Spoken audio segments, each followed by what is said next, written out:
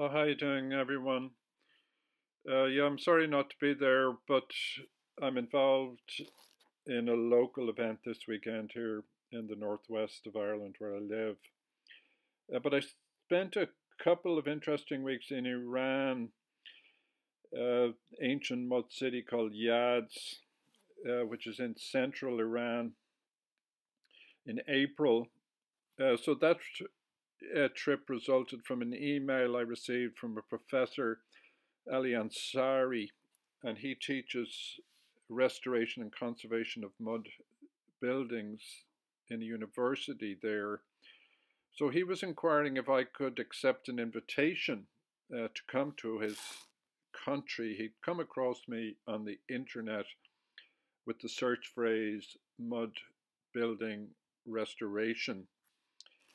Uh, so we found an article I had co authored in an Australian magazine on a mud building restoration there. So this led him to my website and some of my ideas about living architecture and shelter making, which inspired the invitation. The experience of Iran was remarkable, to say the least.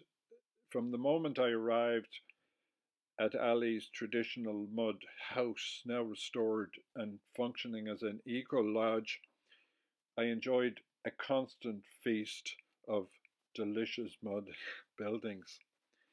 Uh, the city of Yazd is located close to the ancient spice and silk roads and is renowned as a center of Islamic art and learning.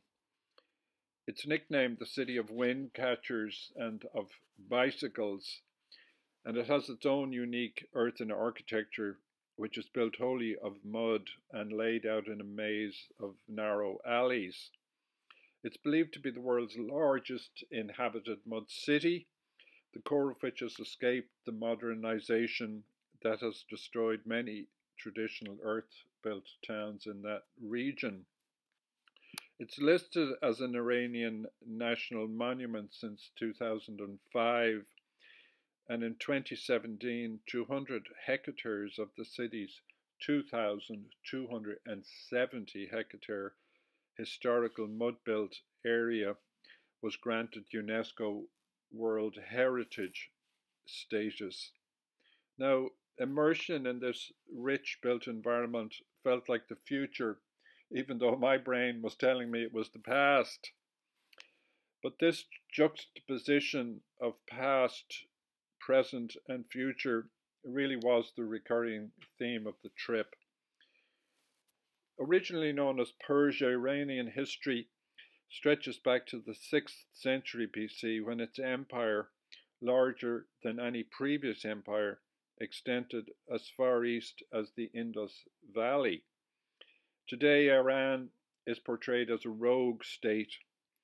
My experience there, however, revealed a friendly, welcoming, humorous, industrious, well educated, peaceful, techno savvy, if somewhat frustrated populace. Starved of viable connections into the wider world due to international sanctions and differences with its neighbours, as a Westerner, my presence was warmly welcomed, and my advice constantly sought in respect of my ideas regarding architecture and my knowledge of mud building. So these experiences prompted Ali and myself to consider initiating a cultural exchange between Yazd, EBUKI members and other interested mud building practitioners.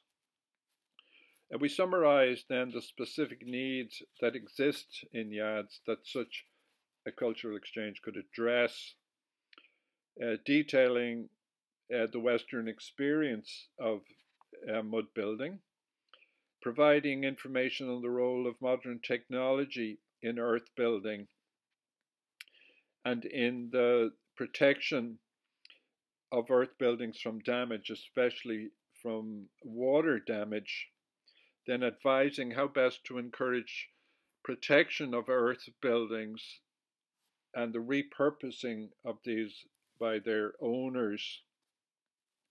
Uh, so the other side of such an exchange uh, would provide visitors with really an unrivaled opportunity to engage really with an entire city built of mud and with people who are passionate about conserving this beautiful heritage and returning it to practical uh, use.